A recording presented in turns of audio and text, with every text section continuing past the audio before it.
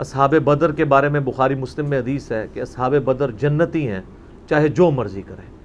इतनी बड़ी जन्नत की बिशारत किसी को नहीं मिली। इसी तरीके से सही बुखारी और मुस्लिम में आता है, हज़रत जबरील इस्लाम ने नबी इस्लाम से पूछा कि आप अपने असहाब में सबसे अफजल किन्हें समझते हैं?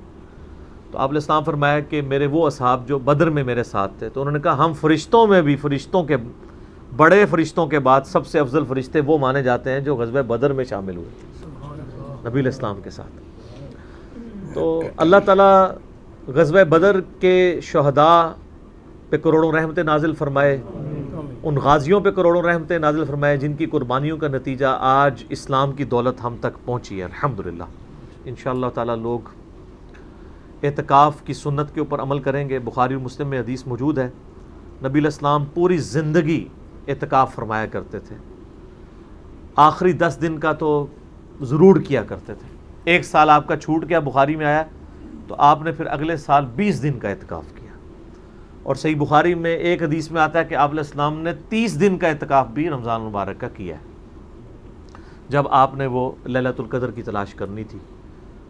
पहले दस दिन बाद आप हजरे से निकले, फरमाया कि इन दस दिनों में नहीं है, फिर अगले दस दिन के बाद निकले, फरमाया नहीं है, और फिर आपने फरमाया, अब इसे रमज़ान मुबारक के आखिरी अशरे की ताक रातों में तलाश करो। तो बुखारी और मुस्लिम दोनों में हदीस मौजूद है। नबी इस्लाम ने फरमाया कि जिसने ईमान और एहतसाब के साथ शब कदर का क़्याम कर लिया, अल्लाह ताला उसके पिछले सारे गुनाहों को माफ़ कर देगा। जाम तिरमिज़ी में हदीस है, जिसने जमात के साथ क़्यामुल्लैल अदा किया, उसे अल्लाह ताला पूरी रात के क़्याम का सवाब अता फरमाएगा। ठीक हो गया। सही मुस्लिम में हदीस है जिस शख्स ने इशा की नमाज़ जमात से पढ़ी, गोया उसने आधी रात का क्याम किया। और फिर जिसने फजर की नमाज़ भी जमात से पढ़ ली, गोया उसने पूरी रात का क्याम किया। यानी इशा और फजर की नमाज़ जमात से अगर आप अदा कर लें तो पूरी रात के क्याम का स्वाब आपको मिलेगा। लेकिन ये जमात से मुराद है कि आपकी रकत कोई फौत नहीं होगी। चारों रखते शाह की जमात से हों।